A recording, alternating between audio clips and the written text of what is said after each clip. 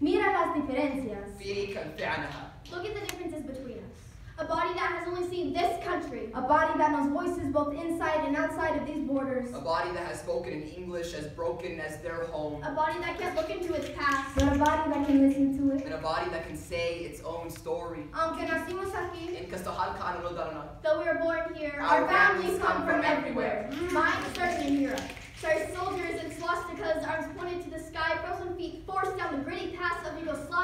down the road to Trieste. my family did not find a home in Mussolini's arms. Though they were tuned into the constant cumbia and laughter of El Salvador, my family couldn't always hear it over the booming death tolls. The ringing of gunshots were not far off echoes, were not distant reports flowing through the radio, but were blasting through the neighborhoods. Crystal clear noise even through times of peace, but they still kept the rhythms of their country close and kept them on repeat. Mine, America told us a tale that we were welcome here. Rumors of a free country whisper now ears across the Atlantic, enticing after my government said power over people and forced me to the words of my folk so loud to block out the noise of violence flooding the streets of Mogadishu, forcing, forcing them, them to the free land. Tenemos mucho para ofrecer. We have a lot to offer.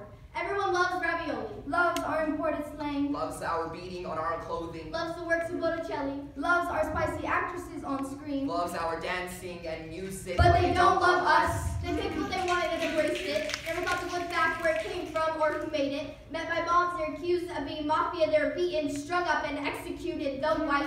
My family was not welcome. Met by immigration quotas and caps, it was hard to get here. And once here, they were met by expectations to switch the foreign tune from their throat, not to vibrate but to silence, to keep the accent hidden under the tongue, along with the language that birthed it, so it couldn't be heard over the already settled masses.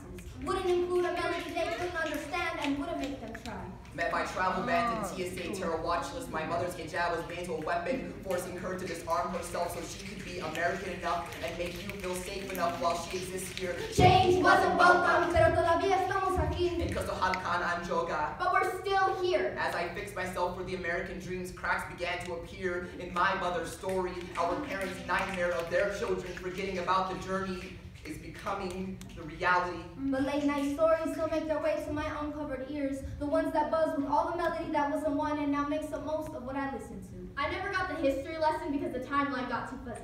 This got lost after falling from their lips to the next the same way their language did. But they're still a part of us. And though their accents may not rest in my mouth, Their stories still resonate in my ears. Their memories live in my eyes. So you can tell us, speak no evil. hear no evil, See no evil. But these aren't stories of evil, they're stories